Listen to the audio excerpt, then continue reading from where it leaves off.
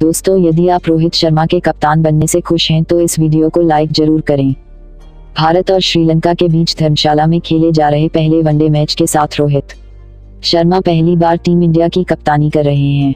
रोहित शर्मा भारत के 24वें वनडे कप्तान और सभी फॉर्मेटों के हिसाब से उनतालीसवें भारतीय कप्तान हैं।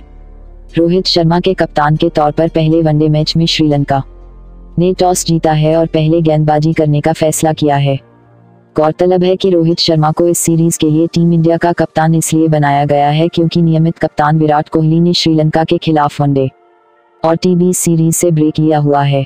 इस तरह से रोहित शर्मा दोनों वनडे और टीबी सीरीज़ में कप्तानी करते नज़र आएँगे। रोहित ने कहा कि हम पहले बल्लेबाजी ही करना चाहते थे। धूप खिली हुई है और पिच बल्लेबाजी के लिए बेहद शानदार नज़र आ रही है।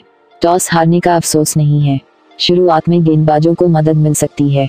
शुरुआती ओवरों में संभल कर खेलने की ज़रूरत होगी और इसके बाद हमें बड़ा स्कोर खड़ा करना होगा। भारत की कप तानी करना एक बड़े सम्मान की बात है। मेरे लिए ये एक चुनौती होगी। हमारी टीम में कई बड़े खिलाड़ी हैं और मुझे पूरी उम्मीद है कि हम आज कुछ अच्छा करेंगे।